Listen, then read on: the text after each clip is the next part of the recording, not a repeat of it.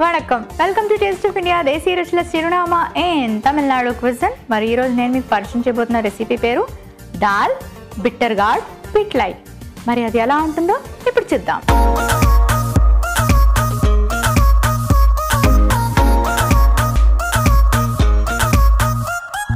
So dal bitter gourd అన్నాను కదండి. దాల్ రెడీగా ఉంది. బిట్టర్ గార్డ్ అంటే మనకి కాకరకాయ కాకరకాయకి మనం స్కిన్ తీసుకొని చిన్న చిన్న పీసెస్గా కట్ చేసి పెట్టుకున్నాం. కాకరకాయ అనగానే చేదు అంటారు కానీ చేదు లేకుండానే ఈ కర్రీ బాగా చేసుకోవచ్చు. ఎలాగో చూడండి. కాకరకాయతో చాలా తక్కువ రెసిపీస్ ఉంటాయి. అయితే బాగా ఫ్రై చేసేస్తారు లేదా బెల్లం వేసి పులుసులాగా పెట్టుకుంటారు. కానీ ఈ రెసిపీ చాలా డిఫరెంట్గా ఉంటుంది అండ్ టేస్టీగా ఉంటుంది. దీనికి ఏం చేయాలంటే ఫస్ట్ మిక్సీ పట్టుకోవాలి. ధనియాలు పచ్చిశనగపప్పు నల్ల మినపప్పు. ఇవన్నీ జనరల్గా పోపు పెట్టుకుంటూ ఉంటాం కదా. ఎండుమిర్చి. కొబ్బరి పాలు. ఇవన్నీ వేసి చక్కగా గ్రైండ్ చేసి పేస్ట్ లాగా ప్రిపేర్ చేసుకోవాలి.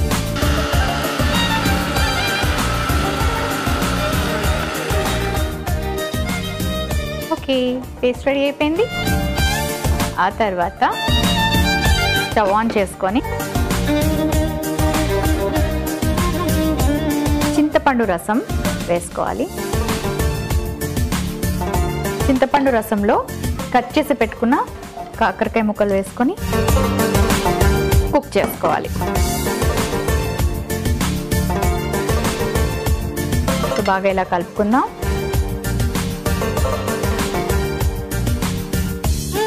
సో ఇప్పుడు చెన్నై అనగానే అందరికీ బాగా గుర్తొచ్చేది ఏంటి అంటే కాలీవుడ్ అండి. తమిళనాడు ఫిలిం ఇండస్ట్రీ ఒకప్పుడు మన తెలుగు ఫిలిం ఇండస్ట్రీ కూడా తమిళనాడు ఫిలిం ఇండస్ట్రీలో కలిసి ఉండేదన్నమాట. తర్వాత బైఫర్కేషన్ తర్వాత మనం సెపరేట్ అయిపోయి మనం టాలీవుడ్ స్టార్ట్ చేసుకున్నాం. కానీ కాలీవుడ్లోని నంబర్ ఆఫ్ ఫిల్మ్స్ అయితే మాత్రం ఎక్కువగా ప్రొడ్యూస్ చేసేది వాళ్ళే.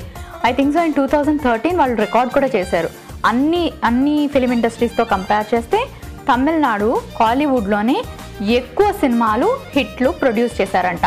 సో రియలీ గ్రేట్ కదా.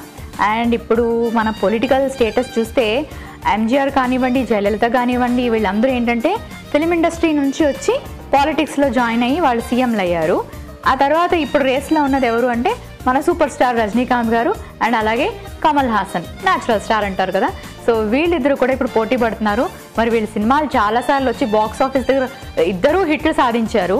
మరి పాలిటిక్స్లో మాత్రం ఎవరు హిట్ సాధిస్తారో చూడాలి నిజంగా. సో ఇంట్రెస్టింగ్గా ఉంటాయి ఈసారి పాలిటిక్స్ అయితే మాత్రం. ఇప్పుడు కాకరకాయని మనం కాసేపు ఇలా కుక్ చేసుకున్నాక నెక్స్ట్ ఏం చేయాలంటే పప్పు కూడా మనకి రెడీగా ఉంది కుక్ చేసి పెట్టుకున్నాను.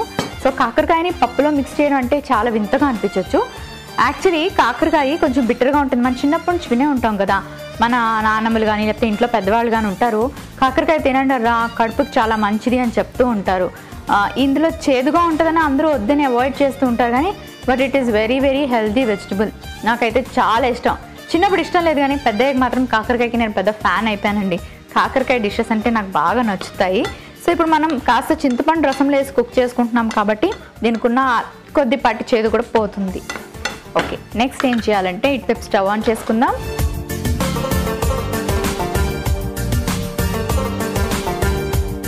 సో కాకరకాయ కుక్ అవుతున్నప్పుడే మనం తయారు చేసి పెట్టుకున్న ఈ పేస్ట్ని కూడా ఇందులో వేసేసుకుందాం. వేసుకొని కొంచెం వాటర్ వేసి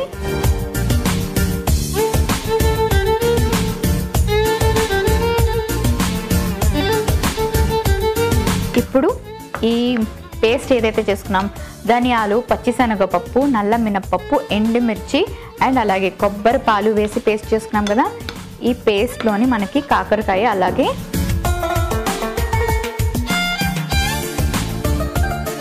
చింతపండు బాగా ఇందులో కుక్ కావాలి. ఇందులో మనం ఇంకొక ఇంగ్రీడియంట్ కూడా వేసుకోబోతున్నాము. అదేంటంటే పప్పు. పప్పు కూడా వేసేద్దాం ఇందులో.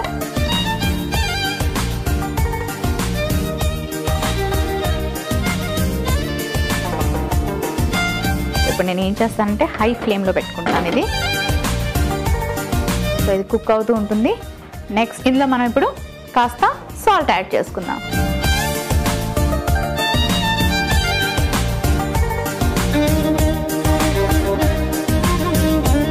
కాస్త వాటర్ వేద్దాం.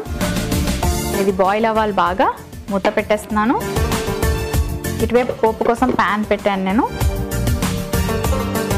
కొంచెం ఇది నేను నువ్వుల నూనెతో ప్రిపేర్ చేసుకుంటున్నాను. సో నువ్వుల నూనె కాస్త వేసుకుందాం. సో అది కుక్ అవ్వడం కొంచెం టైం పడుతుంది. అలాగే ఆయిల్ హీట్ అవ్వడం కొంచెం టైం పడుతుంది. సో మరి మన పప్పు బాగా కుక్ అయింది. కాకరకాయతోని ఇప్పుడు ఏం చేద్దామంటే ఆవాలు వేసుకుందాం.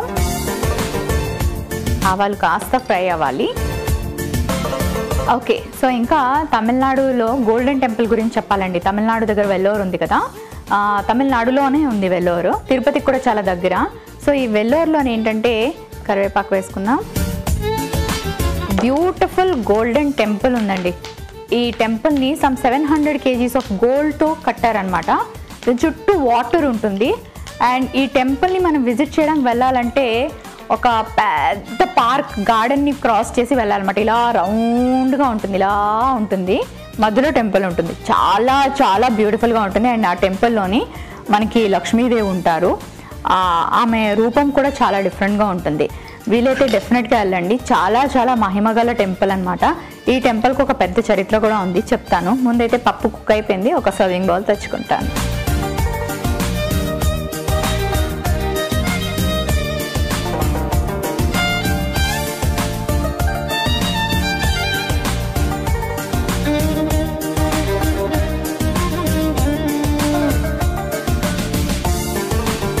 పప్పు వేసేసుకున్నాం. ఆ తర్వాత పప్పు వేసేసుకున్నాం.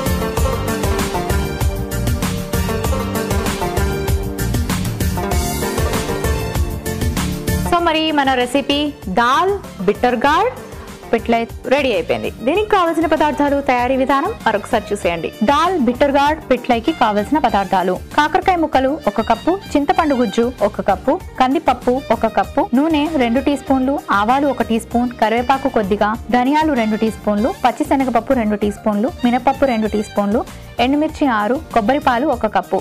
దాల్ బిట్టర్గాడ్ పిట్లై తయారు చేసుకునే విధానం. ముందుగా మిక్సీ జార్ తీసుకొని అందులో ధనియాలు పచ్చిశనగపప్పు మినప్పప్పు ఎండుమిర్చి కొబ్బరిపాలు వేసి మిక్సీ పట్టుకోవాలి. తర్వాత పాన్ పెట్టి చింతపండు రసం కాకరకాయ ముక్కలు వేసి ఉడికించుకోవాలి. తరువాత మిక్సీ పట్టిన మసాలా పేస్ట్ ఉడికించిన కందిపప్పు తగినంత ఉప్పు వేసి బాగా కలిపి నీళ్ళు పోసి మూత పెట్టి ఉడికించుకున్న తర్వాత మరో పాన్ పెట్టి నూనె వేసి అందులో ఆవాలు కరివేపాకు వేసి పోపు పెట్టుకోవాలి. సర్వింగ్ బౌల్లోకి పప్పు మిశ్రమాన్ని తీసుకొని పైనుంచి పోపు వేసి సర్వ్ చేసుకుంటే దాల్ బిట్రగాడ్ పిట్లై రెడీ.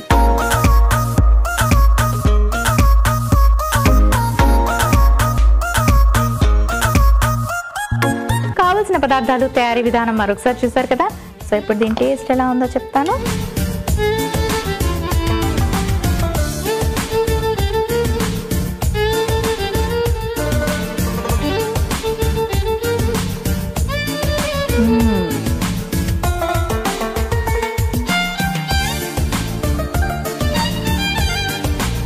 అబ్బబ్బబ్బబ్బా.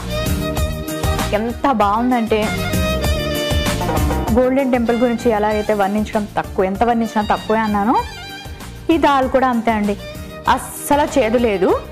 కాకరకాయ చక్కగా పులుపులుగా తెలుస్తుంది నాకు. అండ్ పప్పు వేసుకున్నాం కదా బ్లెండ్ అయిపోయి సూపర్ టేస్టీగా ఉంది. మనం ఆ పప్పులన్నీ కూడా గ్రైండ్ చేసి పేస్ట్ లాగా యాడ్ చేసుకున్నాం కదా ఆ ఫ్లేవర్స్ అన్నీ కూడా తెలుస్తున్నాయి. సూపర్ యమ్మీగా ఉంది. తప్పకుండా ట్రై చేయండి. రైస్తో తీసుకోవచ్చు రోటీతో కూడా ట్రై చేయొచ్చు. సో మరి గోల్డెన్ టెంపుల్ గురించి చెప్పాను కదా గోల్డెన్ టెంపుల్లోని ఇంకొక విషయం చెప్పాలి. అక్కడ అమ్మవారి విగ్రహం నల్ల రంగులో ఉంటుంది. నల్ల రంగు అంటే గుర్తొచ్చింది. తమిళనాడులో కంచి కూడా చాలా ఫేమస్ చాలా మంది కంచి కూడా వెళ్తూ ఉంటారండి అక్కడ అమ్మవారిని చూడటానికి. అక్కడ కూడా అమ్మవారి విగ్రహం నల్లగానే ఉంటుందన్నమాట. నల్ల రంగులో ఉంటుంది. అంతేకాకుండా కంచిలోని బంగారం బల్లి వెండి బల్లి అని ఉంటాయి. రెండు బల్లులు ఉంటాయి. జీవితంలో ఒక్కసారైనా ఆ బలిని ముట్టుకుంటే ఎంతో మంచిదంట.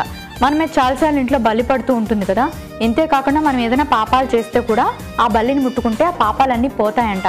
అందుకే చాలామంది ఆ టెంపుల్కి వెళ్ళి బంగారం బలిని వెండి బలిని ముట్టుకొని వస్తారు.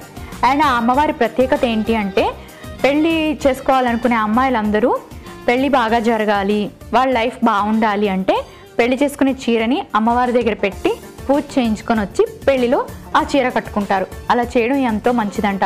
సో చాలా మంది అమ్మాయిలు అక్కడికి వెళ్తూ ఉంటారు. ఇంతే కాకుండా తమిళనాడు టూరిస్ట్ స్పాట్ అని కూడా చెప్పొచ్చు. ఎందుకంటే కంచి కానీ లేకపోతే వెల్లోర్ కానీ మధురై కానీ ఇవన్నీ చూడడానికి విపరీతంగా మ- వస్తూ ఉంటారు టూరిస్టులు. అండ్ చెన్నైలో అంటే మెడ్రాస్లోని గోల్డెన్ టెంపుల్ కూడా చాలా ఫేమస్ అనమాట ఇంతే కాకుండా చెన్నైలోని గోల్డెన్ బీచ్ కూడా చాలా ఫేమస్. ఇది చూడటం కూడా చాలా మంది వస్తూ ఉంటారు.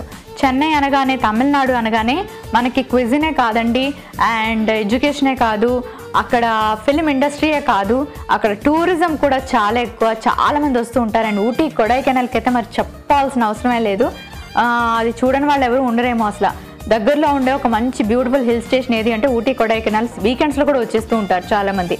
సో మరి విన్నారు కదండి. ఈరోజు నేను చెప్పిన తమిళనాడు ముచ్చట్లన్నీ అండ్ అలాగే మంచి రెసిపీని పరిచయం చేశాను. తప్పకుండా ట్రై చేయండి. రేపు కూడా ఒక మంచి రెసిపీతో మీ ముందుకు వచ్చేసింది మీ మోనిక. అంతవరకు see you take care bye